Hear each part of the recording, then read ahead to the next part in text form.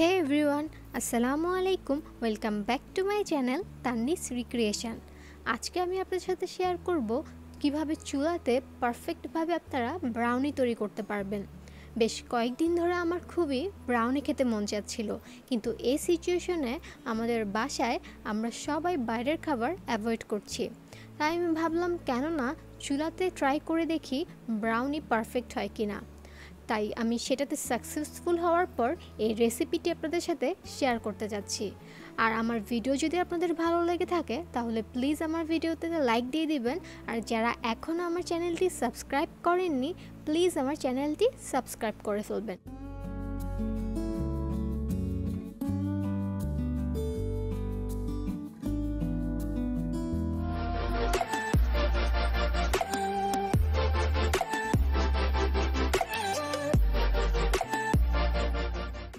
আর যারা আমার চ্যানেলের আগের পঞ্চাশ টাকার বার্গার রেসিপিটি মিস করেছেন, তারা এই ভিডিও শেষে বার্গারের রেসিপিটি দেখে দিবেন। ডেসক্রিপশন বক্সে আমি লিঙ্ক দিয়ে দিব। ফার্স্টে নিয়ে নিচ্ছি এক কাপের মতো ময়দা, তারপরে নিয়ে নিব ওয়ান থার্ড কাপের মতো কোকো পাউডার নিয়ে নিচ্ছি ওয়ান থার্ড কাপের মতো chocolate one fourth cup butter one spoon baking powder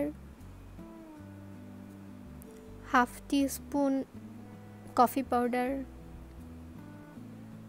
half কাপের মতো চিনি,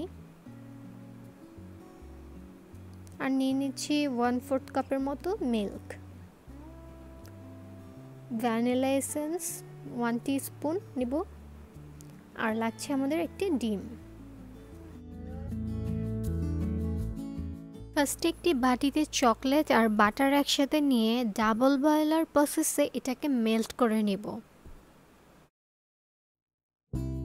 নিচে একটি প্যান নিয়ে নিয়েছি যেখানে আমার ফুটন্ত গরম পানি ছিল, সেটার উপর বাটিটাকে বসিয়ে এখন আমি চকলেট আর বাটার একসাথে মিক্স করে মেল্ট করে নিচ্ছি।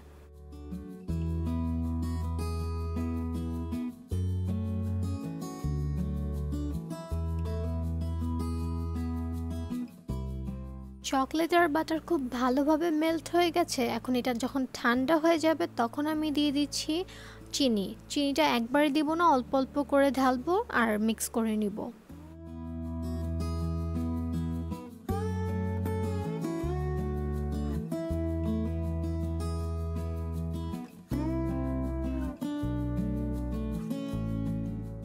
চিনিটা দেওয়ার পর এখন আমরা দিয়ে দিচ্ছি একটা ডিম।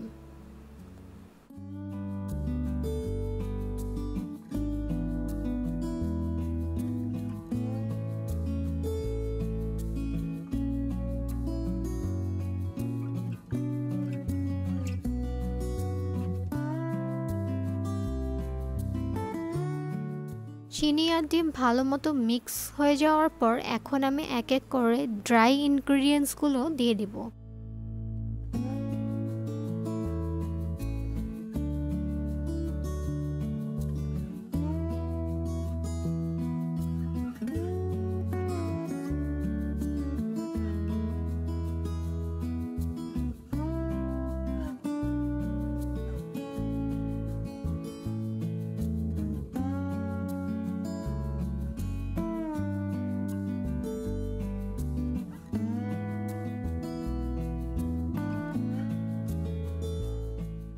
এখন দিয়ে দিচ্ছি ভ্যানিলা এসেন্স আর দিয়ে দিব দুধ দুধটা কিন্তু আমরা একেবারে ঢেলে দিব না, অল্প অল্প করে ঢালবো আর মিক্স করব।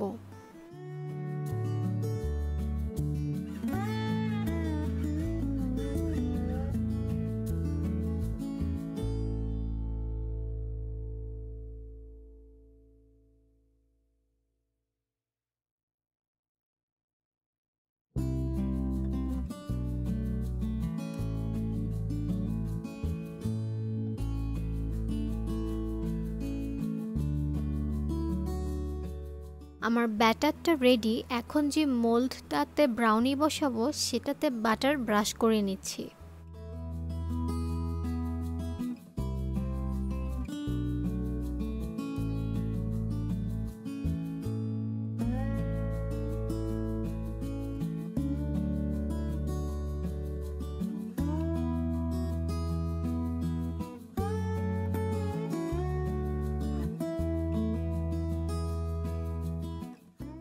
আজকে যেহেতু আমি চুলায় ব্রাউনিটা বেক করব, তাই আমি আগে থেকে চুলায় একটি পাতিল বসিয়ে সেখানে বালু আর একটি স্ট্যান্ড দিয়ে পাতিলটাকে 10 মিনিটের জন্য প্রিহিট করে নিয়েছি। আপনাদের কাছে যদি বালু না থাকে, সেক্ষেত্রে আপনারা লবণ ইউজ করতে পারেন। আর যদি লবণও ইউজ করতে না চান, সেক্ষেত্রে শুধু পাতিলের উপর একটি স্ট্যান্ড বসিয়ে এটিকে 10 মিনিটের জন্য প্রিহিট করে নেবেন। তারপর ব্রাউনের মোল্ডটি অথবা কেকের মোল্ডটি বসিয়ে দিবেন।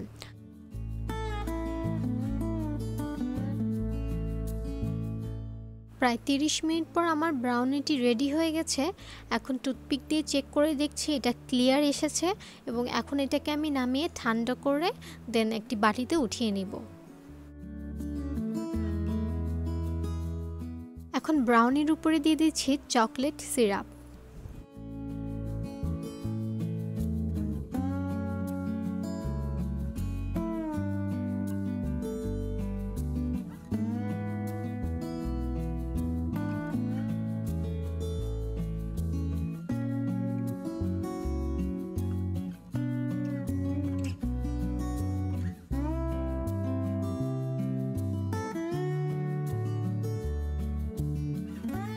তৈরি হয়ে গেল আমার চুলায় করা পারফেক্ট ব্রাউনি আমার কিন্তু ব্রাউনি কফির সাথে খেতে অনেক বেশি ভালো লাগে। আপনাদেরও যদি তাই হয়ে থাকে, তাহলে আমার এই রেসিপি দেখে বানিয়ে ফেলুন ছটপট করে এই ব্রাউনিটি আর আমার ভিডিও যদি ভালো লাগে থাকে, তাহলে আমার ভিডিওতে লাইক দিবেন কমেন্ট করবেন ফ্রেন্ডস অ্যান্ড ফ্যামিলির সাথে শেয়ার করবেন, আর অবশ্যই আমার চ্যানেলটি সাবস্ক্রাইব করে রাখবেন। আজকে তাহলে এখানেই বিদায় নিচ্ছি। সবাই ভালো থাকবেন, সুস্থ থাকবেন। আল্লাহ হাফেজ।